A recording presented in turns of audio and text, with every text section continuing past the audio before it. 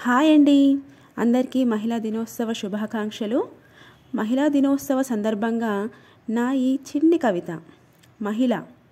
మనసులోని బాధలన్నీ దాచుకొని కుటుంబ సభ్యుల హితమే తన క్షేమమని తలచి తను కన్న కలల్ని కలలుగా మార్చే రోజు కోసం ఎదురు చూస్తూ అనుక్షణం తపించేదే మహిళ.